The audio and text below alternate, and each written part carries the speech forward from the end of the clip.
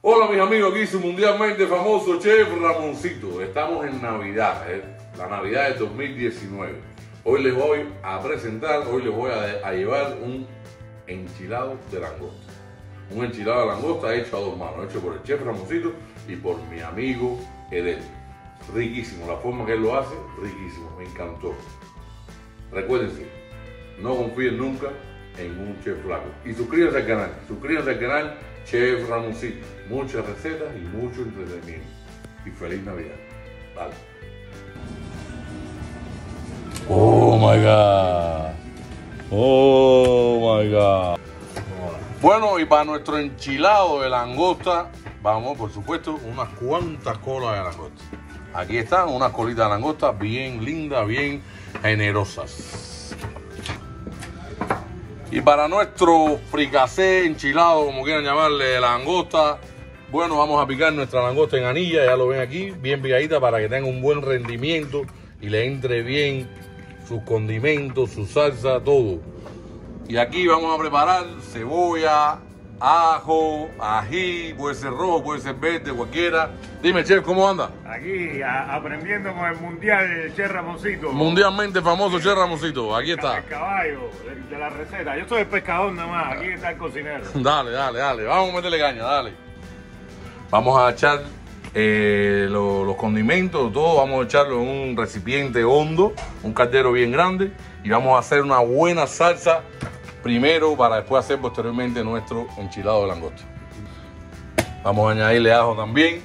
Eh, el problema, eh, bueno, la razón por qué hacer el fricasé primero, chef, es para que no se cocine bien, para que no se cocine mucho la langosta. Exacto. La langosta no lleva mucha candela, la langosta se queda eh, poca candela para que quede bien Se jugosa. pone un poquito más dura. Ahí está, dale.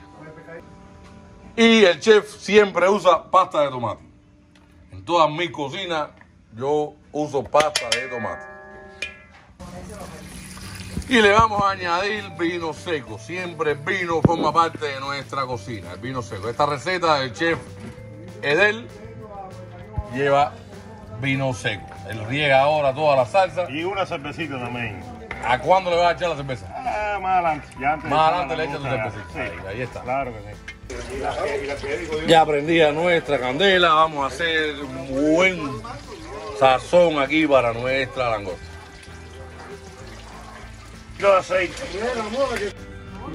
Ahora viene una parte importante, sacar la tripita. ¿Qué fue lo que hiciste primero? Un, Pica, un cortecito por cada corte mitad y corte mitad.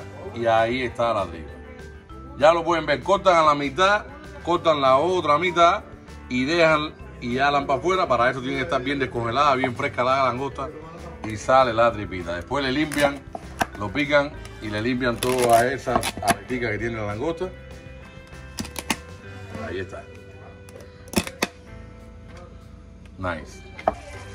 Ahora viene un toque muy importante. Eh, chef, ¿por qué picantico ese? Bueno, el picante, uno, se le puede dar sabor picantico porque le gusta a varias personas, pero aunque no se le siente el picante, le encierra el sabor a todo lo que es el, el condimento y lo concentra. Y lo concentra. Unas goticas de picante, aunque tú no lo sientas, concentra el sabor de, de- de todo el sazón. Es increíble. Ahí está. Miren qué clase de sazón, qué clase de, de sofrito estamos haciendo ahí para la langosta. ¿Cuándo echamos la langosta? Ya en cualquier momento, un poquito más. Ok. Vamos a esperar que se desbarate un poquito más la cebolla. Y ahora viene la parte linda, la parte importante.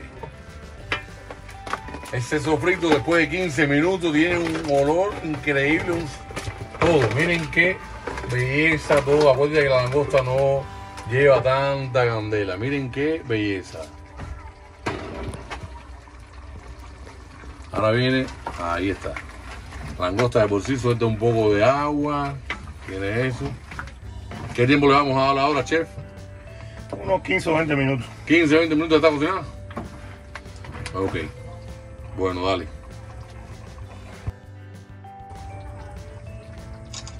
Ya le vamos a dar unos 15 minuticos, unos 15 a 20 minuticos. Ahí él va a soltar su agüita, va a cocinar solito a fuego lento.